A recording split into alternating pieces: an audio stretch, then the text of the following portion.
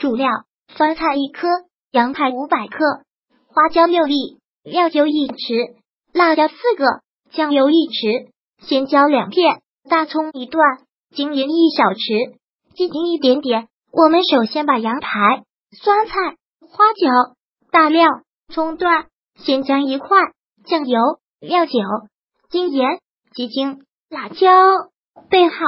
首先把羊排用凉水浸泡，化开，剁段，再把葱切丝，姜切片，酸菜切丝。锅中放入少量的油，油冒烟时候放入葱姜丝、大料、花椒爆香，再放入辣椒。再放入羊排骨翻炒几下，再放酸切好的菜丝，放精盐翻炒几下，加入清水炖十分钟左右，再放鸡精炖一小会即可。剪出辣椒、大料、花椒，出锅装入大碗里。这是炖好的羊排，还行吧？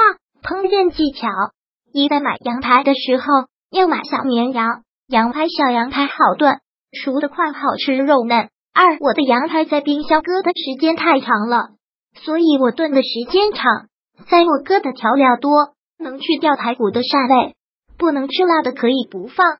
如果喜欢本视频，请分享并订阅本频道，别忘了按赞哦。